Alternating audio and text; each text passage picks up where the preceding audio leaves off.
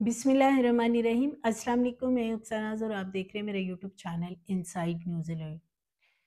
ناظرین، ٹرانسجینڈر مہک ملک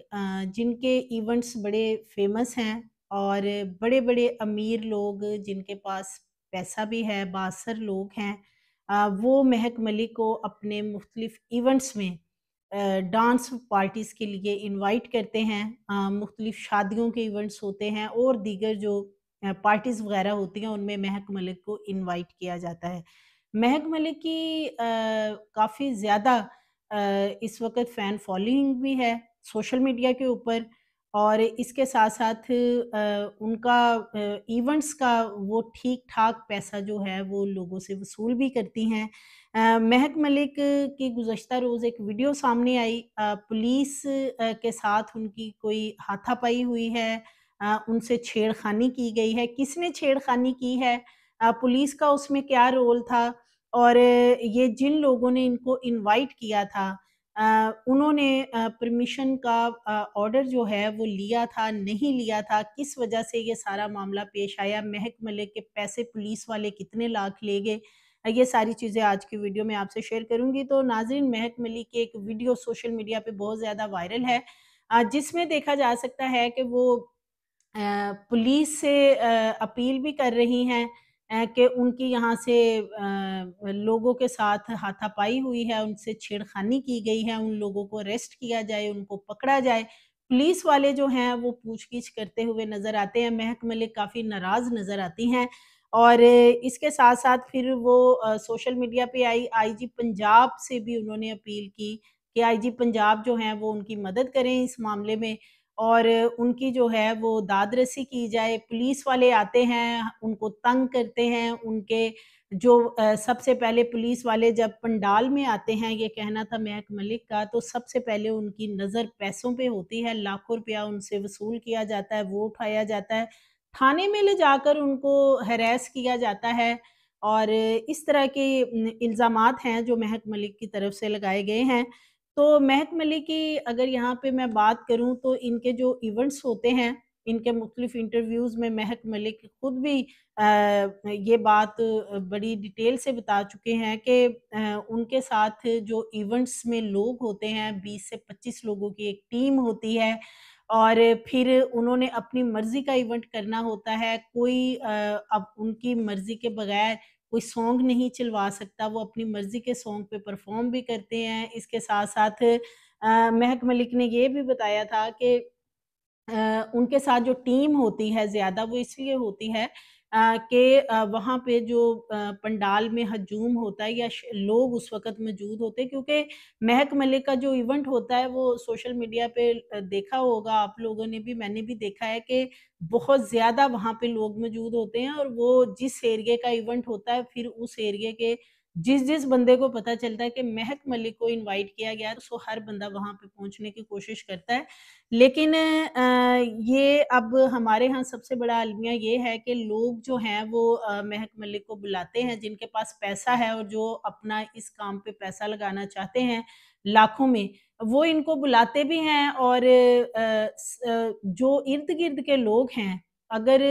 کسی محلے میں یا کسی ایسی جگہ پہ یہ سارا ایونٹ کیا جاتا ہے جہاں پہ لوگ اور بھی اہل محلہ موجود ہیں، اہل علاقہ جو ہیں وہ ڈسٹرب ہوتے ہیں فاسٹ میوزک چل رہا ہوتا ہے، اس کی وجہ سے لوگوں کی نیند خراب ہوتی ہے، جو لوگ جلدی سو جاتے ہیں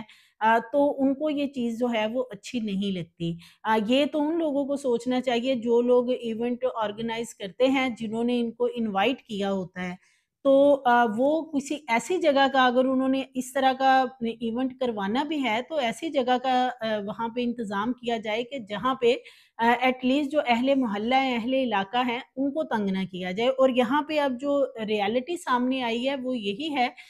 کہ مہک ملک جو ہیں، وہ اس ایونٹ میں گئیں اور انہوں نے ایونٹ سٹارٹ کیا ٹائم کافی زیادہ ہو چکا تھا۔ اور جو ان کے قریبی اہل علاقہ تھے، جن میں کہ مولوی حضرات بتایا جا رہا ہے کہ مولوی صاحبان شامل تھے، جنہوں نے کہ مسجد میں صبح جماعت کروانی ہوتی ہے تو ان لوگوں کو نیند ڈسٹربنس کا جب ایشو ہوا میوزک بہت فاسٹ ہوتا ہے، ظاہر ہے جب سانگ چل رہے ہوتے ہیں تو وہ دور دور تک اس کی آواز جاتی ہے۔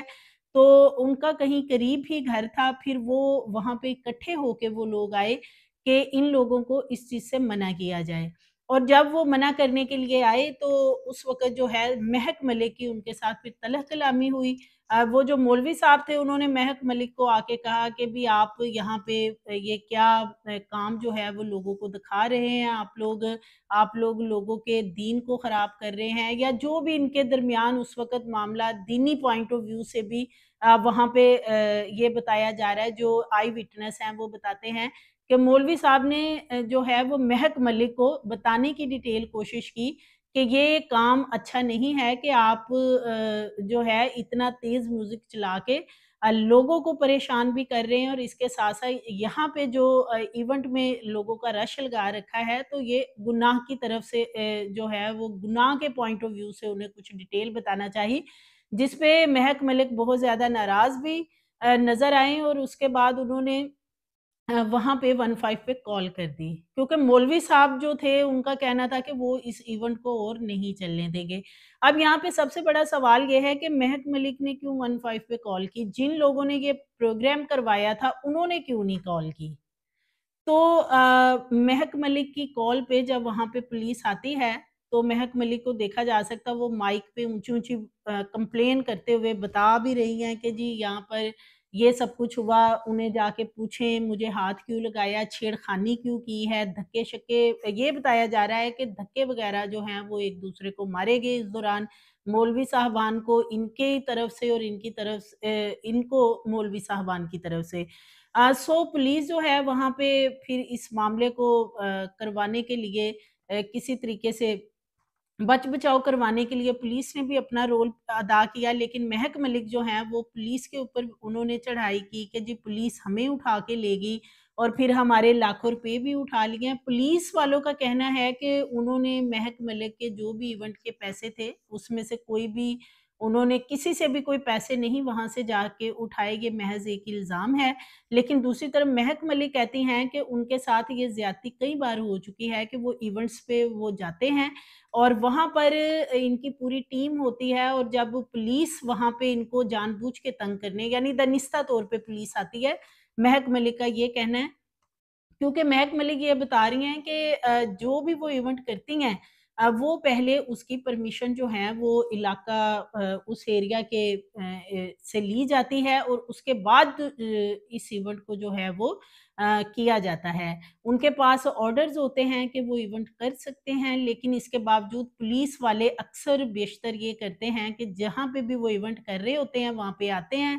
پیسے بھی ہتھے آتے ہیں، ان کو ہراس بھی کرتے ہیں، ان کے بندے اٹھا کے تھانے میں لے جاتے ہیں۔ پھر ان بندوں کو چھڑانے کے لیے یہ لوگ ان کو پیسے دیتے ہیں کہ بات آگے بڑھانے کی بجائے پیسے لے کے مکا کر لیا جائے۔ سو مہک ملک جو ہیں وہ کافی اس ویڈیو میں آئی جی پنجاب سے بھی ناراض نظر آ رہی ہیں اور ان سے کہہ رہی ہیں کہ ہم کدھر جائیں۔ ہمارا روزگار یہی ہے، ہمارا کام یہی ہے، ہم نے یہی کام کر کے روزگار کمانا ہے۔ سو پولیس والے جو ہیں وہ ہمیں سکون نہیں لینے دیتے، لیکن یہاں پہ اس پورے معاملے میں جو مجھے چیز نظر آئی ہے جو آئی وٹنس بتا رہے ہیں، وہ یہی ہے کہ اس میں پولیس والوں کا اتنا کنسرن نہیں تھا جتنا کہ اہل علاقہ کا۔ اور جو اہل علاقہ ہیں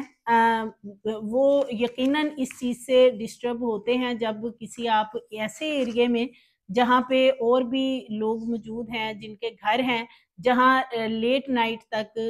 یا صبح تک ایونٹ چلتا رہے گا۔ حالانکہ عام تو ایونٹ ہوتے ہیں، دس بجے ختم ہو جاتے ہیں۔ لیکن مہک ملک کے جو ایونٹ ہوتے ہیں، بعض لوگ یہ بتاتے ہیں کہ ان کے ایونٹ دس بجے کے بعد بھی چل رہے ہوتے ہیں۔ اور جو جس علاقے میں یہ ایونٹ کروایا جاتا ہے، وہاں پہ وہ زیادہ شہر سے اگر دور علاقہ ہوتا ہے، تو اس ایونٹ کو کافی لمبا بھی کیا جاتا ہے یعنی کہ اسے مڈ نائٹ تک چلایا جاتا ہے۔ سو اس سے لوگ ڈسٹرب ہوتے ہیں اور جب لوگ ڈسٹرب ہوں گے تو وہ آ کے کمپلین بھی کریں گے کہ میوزک کو بند کیا جائے۔ اور یہ تو جو لوگ ایونٹ اس طرح کے آرگنائز کرتے ہیں، تو یہ ان کا کام ہے کہ وہ اپنے اہل علاقہ کا خیال رکھیں۔ اور اگر انہوں نے یہ سب کچھ کروانا ہے تو کسی اور ایریے میں جا کے کروائیں بجائے کہ لوگوں کو ڈسٹرب کریں۔ اور یہاں پہ بھی یہ مولوی صاحب جو ہیں انہوں نے یہی بات کی تھی اپنے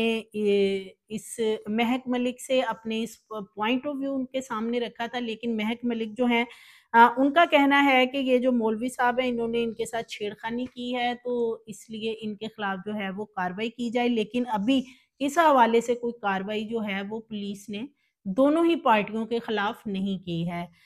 تو سو مہک ملک ٹرانسجینڈر کی بات کرتی ہیں، تو ٹرانسجینڈرز جو ہیں ہمارے ملک میں اس وقت سوشل میڈیا پہ دیکھا جائے تو مہک ملک کے ساتھ ساتھ بہت سارے ٹرانسجینڈر ہیں جنہوں نے اپنے سوشل میڈیا اکاؤنٹ بنا رکھے ہیں، اپنے ایونٹس بھی کرتے ہیں اور لیکن جو فین فالنگ مہک ملک کی ہے وہ کسی اور کی نہیں ہے۔ نو ڈاؤٹ ان کے جو ایونٹس ہیں یہ ان کے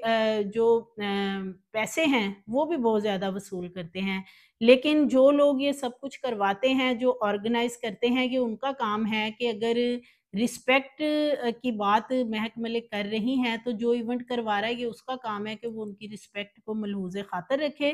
اور اپنے ایریے کے لوگوں کی جو عزت ہے، اس کو بھی ملحوظ خاطر رکھے تاکہ اس طرح کا کوئی واقعہ دوبارہ پیش نہ آئے۔